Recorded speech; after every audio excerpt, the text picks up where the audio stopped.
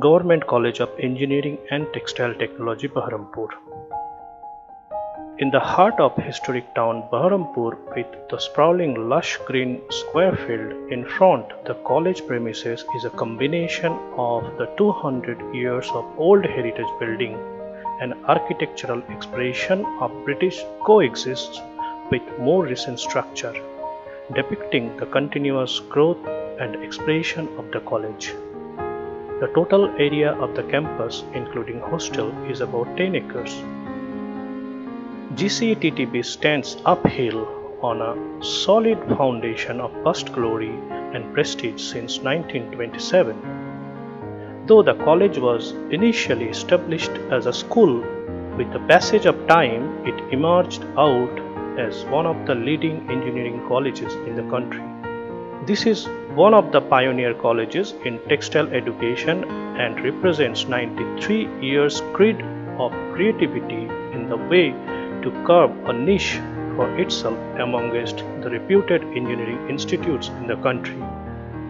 It has produced galaxy of engineers who are instrumental in spreading the name and fame of the college in India.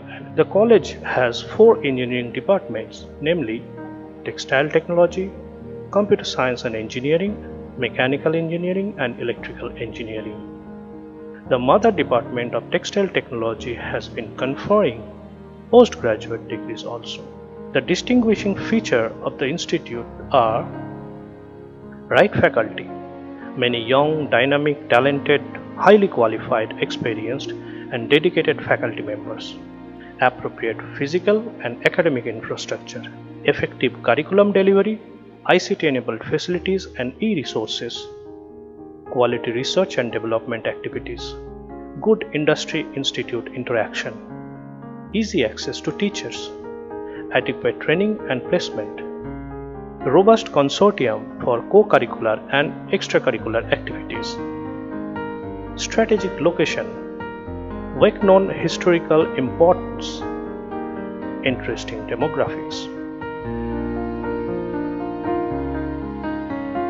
The college hostel, which is located about 1 kilometer away from the main college campus, has been built in a picturesque surrounding having all modern facilities and amenities.